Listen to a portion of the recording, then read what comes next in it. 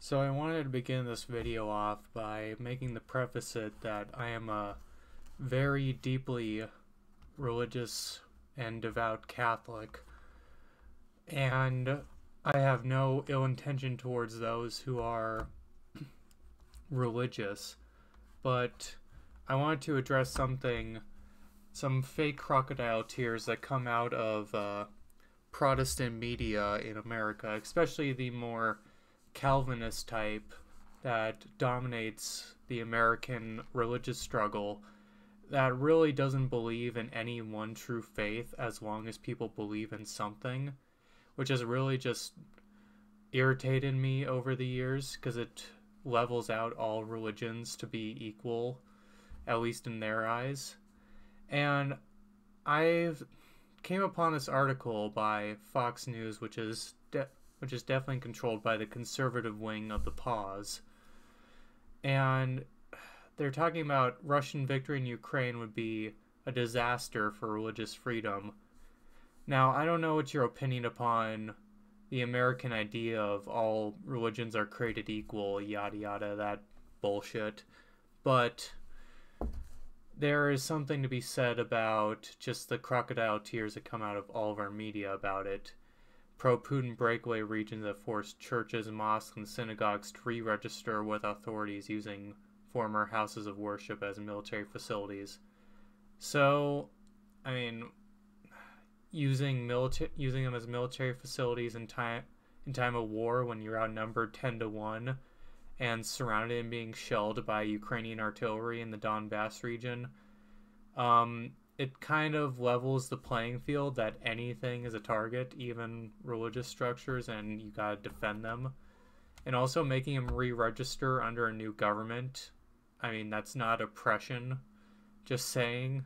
That's just, uh, you have to register with a new government that owns this territory. But I digress. So, a human rights expert has warned that Russia's victory in Ukraine would prove a catastrophic catastrophe for religious freedom, considering Russian President Vladimir Putin's record and the record of the pro Putin breakaway regions in Ukraine. What, because he's a devout Orthodox Christian and he has no tolerance for the American Protestant cult system?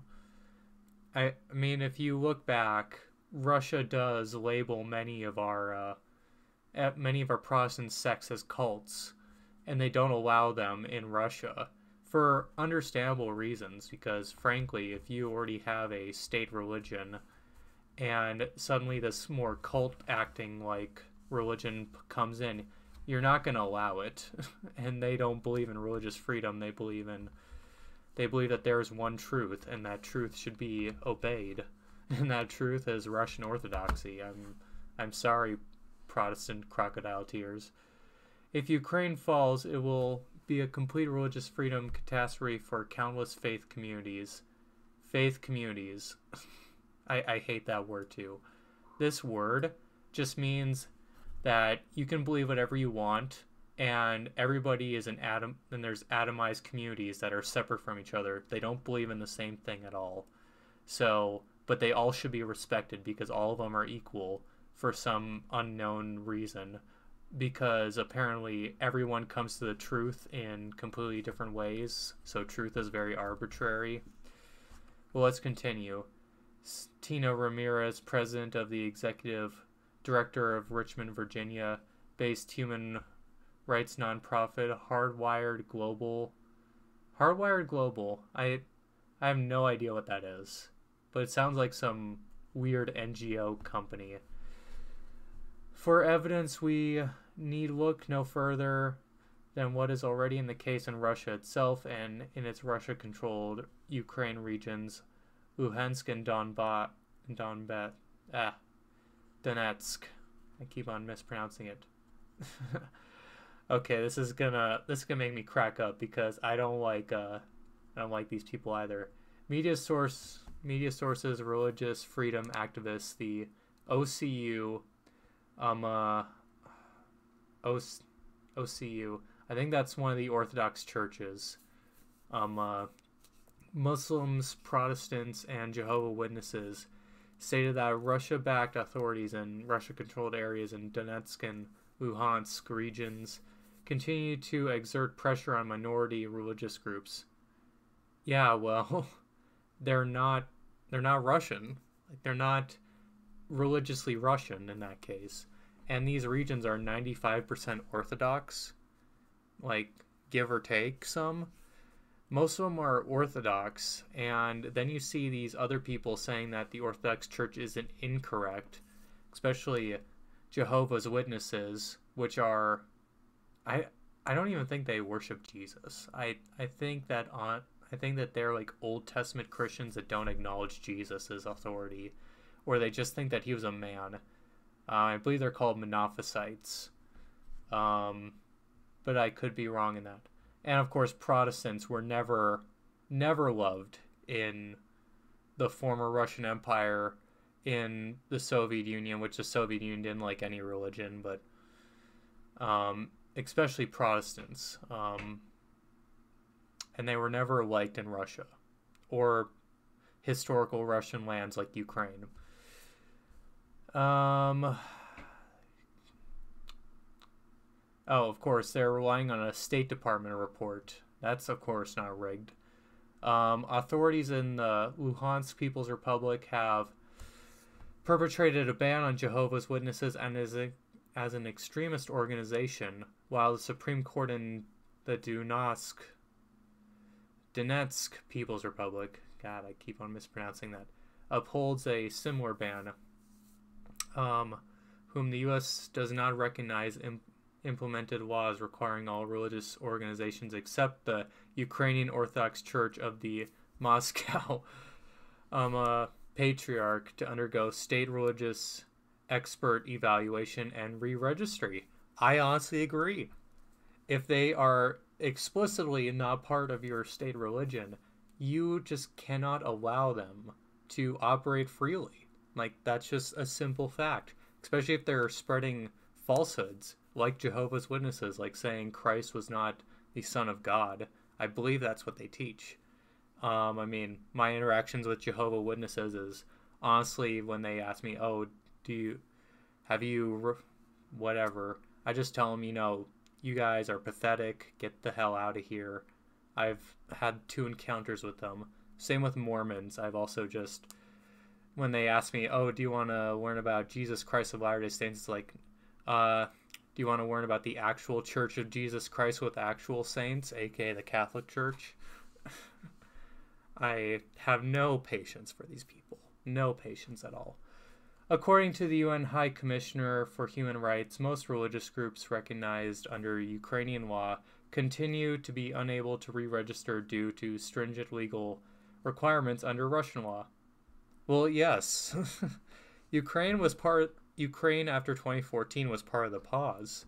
And the pause, the, the subtle thing that liberalism does to a country is it first attacks religion and tries to make make it so everybody is these atomized individuals separate from everyone else. And then they say, well, all religions are equal. So, and it's a weird, it's a double speak because by saying that all religions are true, you're saying no religion is true. And that's what they always do. And Russia does not accept that, which I completely agree. You do not accept somebody saying that all religions are created equal because that means that no religion is valid. No religion is true. And when you do have a true religion, when you do exert its authority as the one true faith, you don't allow competitors. Like the Catholic Church is allowed to operate in Russia because fundamentally the Catholic and Orthodox Church are in schism with each other and they're not they don't contradict each other in terms of the sacraments or theology at least not too much there's like minor minor splitting hair differences but in the core sense of it they are exactly the same but if you introduce protestants into there protestantism rejects the sacraments they reject the saints. They reject all the theology besides what books in the Bible they decided to keep in and what book and then they also tossed out a few books because they didn't agree with it. because apparently you can dictate your own theology and not God himself. So I'll continue. According to the UN High Commissioner for Human Rights, yeah, also another pathetic organization that is illegitimate. Most religious groups recognized under Ukrainian law continue. Oh, yeah, I already read that one. Um, yeah, and uh, the Russian military isn't gonna tolerate these these uh heretics, and I'll I'll use the term they're heretics. Ukrainian bishop put Putin is the antichrist of our, of our current time. Oh my god, going with the antichrist route. I I'm not quite the biggest shill for Putin, but I would say that he uh, I mean, he's not a good he's not a good leader, but he at least window dresses in a way that is appealing more than our western liberal elite that are just all a bunch of degenerates and at least Putin exerts the authority of the Russian Orthodox Church, which I greatly appreciate in these trying times. Ramirez noted that many religious communities, such as Seventh day Adventists, oh my god, I've had too much interaction with them, and they are extremely cult like. Um, they, uh, one, they're pretty much, uh, shills for Israel. They are Old Testament Christians that pretty much deny 90% of what Christ taught and 90% of the established canon of Christianity. And instead they re instead they embraced uh they went to Saturday being the Sabbath, which that's why they call themselves the Seventh Day Adventists, and they still call it the Sabbath. Um, I I officially don't know the theology behind that word. If the Catholic Church or Orthodox Church uses it, well, by that mean I mean the Apostolic faith. But uh, I digress. I absolutely have I absolutely loathe these people, and I would I pray for their souls to see the error of their ways. Same with Jehovah Witnesses, Baptists, Pentecostals, especially Pentecostals. Like the reason why they are banned in Russia and Catholic uh, exorcists also express this very much. Pentecostals believe that they do actually get inhabited by the Holy Spirit, and then they start speaking in tongues. But most trained exorcists that walk into a Pentecostal service, in air quotes, they end up having to walk out because they know that they are chanting to Satan in dead languages and not talking in tongues like they believe, and they are actively being inhabited by by Satan and the evil spirits, which that's why they are banned by Russia and the Orthodox Church explicitly. Baptists are in the same boat, and they are just within that small church Protestant group. Um, uh, and then Muslims, it's like there's only a few regions in Russia that actually Islam is allowed, like uh, Chechnya, which is like 90% Islamic, if I am remembering off the top of my head. But they're an autonomous republic that's essentially like a quarantine zone for most of the nation's Muslims. Um, yeah, they've been subjected to violence, arrest, and other congregation and under congreg- uh, congregation raided, and had their congregations raided.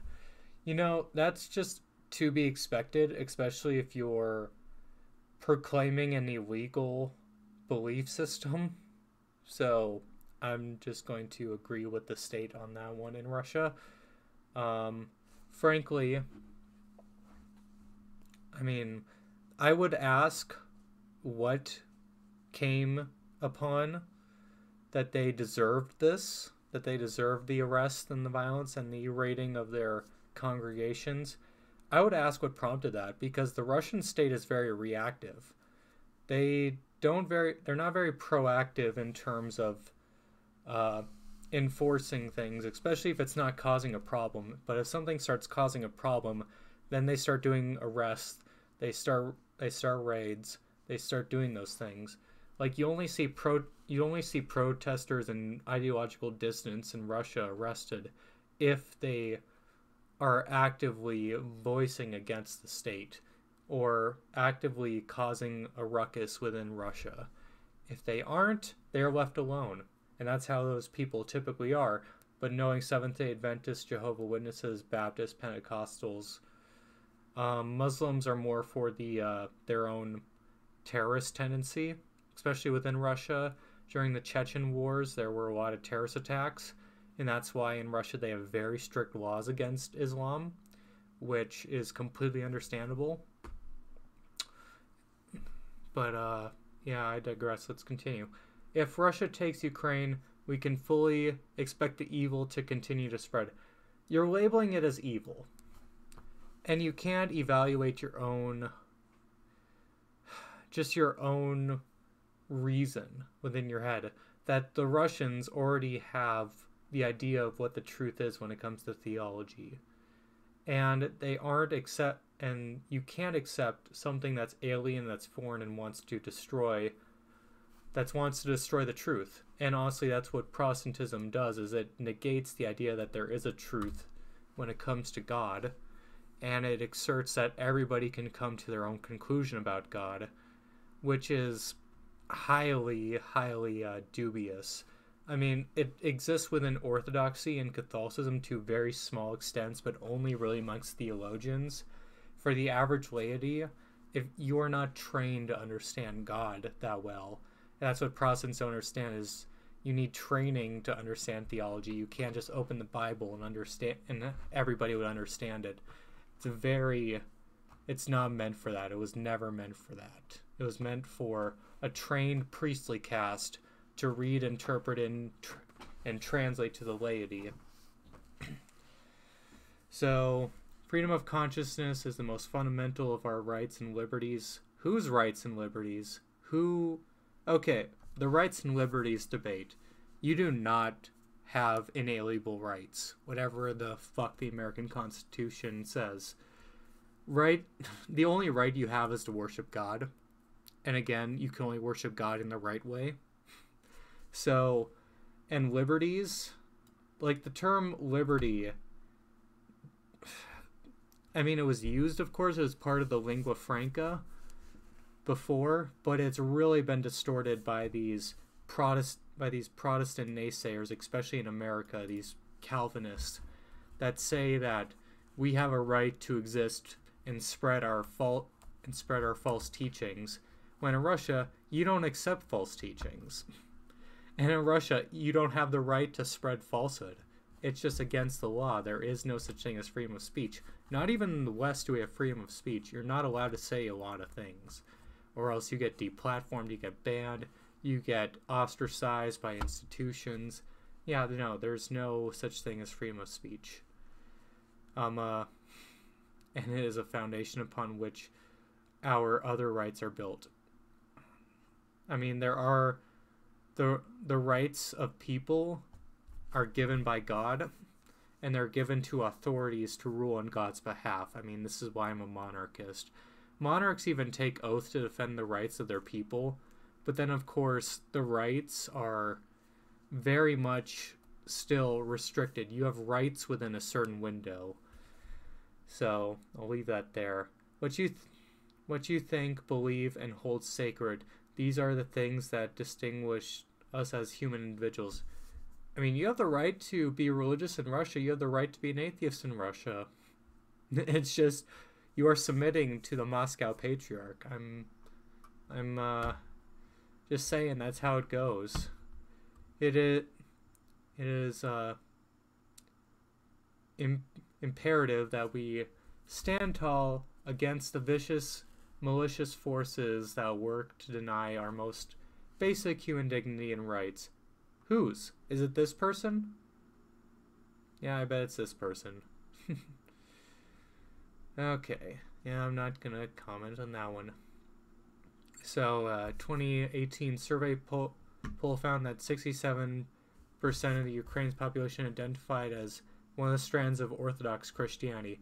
So there, you have the official state religion, even though it's not the official state religion of Ukraine, the de facto state religion Rush of Orthodox Christianity.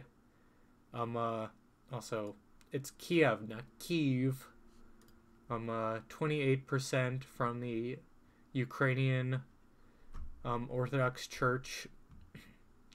Um, 23% identify as Orthodox, so probably, I don't know. They probably are just like, we shouldn't be a divided church. We shouldn't be divided between Ukraine and Russian Orthodox Church. uh, of course. Of course, they cover up the, uh, the Russian Orthodox Church with this acronym. This is the UOC-MP. That is the Moscow Patriarch, so that's the Russian Orthodox Church, and they're 12.8%, which lines up a lot with the Russian population of Ukraine. 7.7% of the population identifies as broadly Christianity. I'd guess that is the Protestant infiltrators. Um, Ukrainian Byzantine Rite Catholic Church makes up about 10%. Protestants make up 2.2%. This is also the registered Protestants. Um, Latin Rite Catholicism makes up a 1%, which typically um, Latin and Latin Rite and Ukrainian Rite, like, yes, we're two different liturgical rites, but they're both under the Catholic Church, so um, uh, that 0.8 and that 9.4% could be combined there. People that run these polls. Um, Islam, which is, I think this is mostly the Tatar population of Ukraine, is 2.5%, still an insignificant population. And uh, the Zionists make up uh, 0.4%.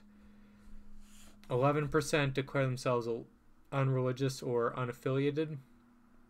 I, I think that's actually a lower rate than we have in the West.